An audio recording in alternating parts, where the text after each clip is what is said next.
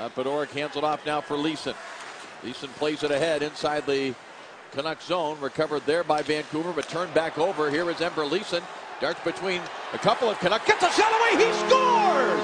Enver Lisin, the only goal last night, the first goal tonight. He beats Luongo 1 0. I mean, your third overall draft pick, you know, Kyle Turris is going to be an integral part of this franchise. You know, to make that decision, big hit there by Gertson, too. Big hit by Gertson, and O'Brien's going to go after him.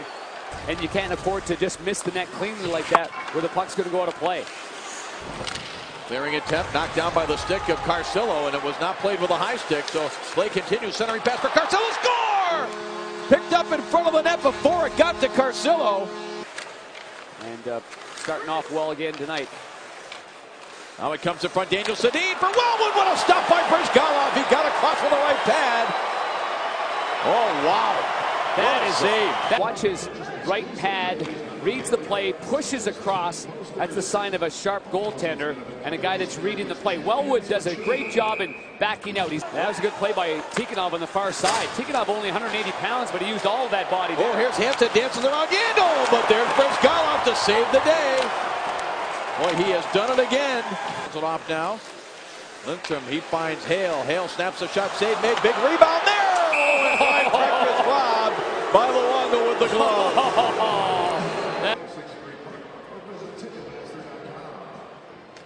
Dean and Jokinen. Puck isn't dropped. Now they set it down. Canucks win it. It comes to Ohlund with a one-timer. He scores! Boy, that was just off the post and in. It took an absolutely perfect shot. Team with a man in the box here. 40 seconds left in the period. It's a 2-1 game as Mattias Ohlund scored with just over two minutes left in the period. Now Jokinen to Derek Morris with a driver score! Derek Morris just inside the blue line. And the Coyotes have restored the two-goal lead. Wow, what a shot over the right shoulder. And boy, Luongo's looking to his left.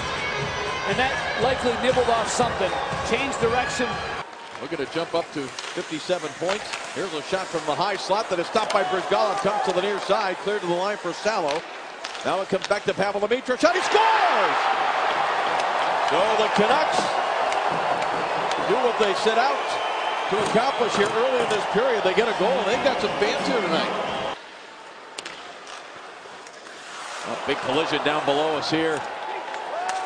Winnik and Pyatt 15.45 remaining here in the third period. A steal in the neutral zone by Pearl. Oh.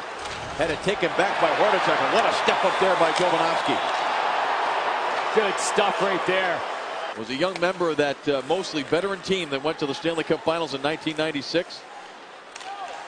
Here is Henrik Sedin with a shot save rebound. Chance set wide by Daniel. Didn't have time to really take aim, Daniel Sedin. And this puck is cleared by the Coyotes, and that'll do it for the Derek Morris penalty. Ooh. Canucks control. Bieksa with a shot. Score! May have been tipped out in front by Bernier. And the Vancouver Canucks have come back to tie this game at three. As I mentioned in my recent blog on PhoenixCoyotes.com, take care of your own business. Don't just worry about the out-of-town scoreboard. As Salo with a long shot that's picked up in front. Score! Loose puck. Henrik he knocks it home.